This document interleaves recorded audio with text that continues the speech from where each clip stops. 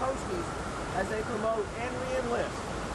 A wise saying states, unto whom much is given, much is required. Right hand, repeat after me.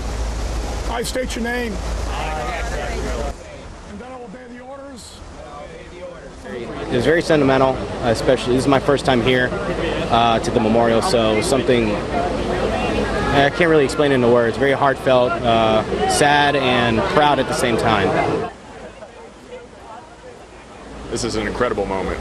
Um, just having my family here and in this place that means so much not only to me but also to this city and to this country.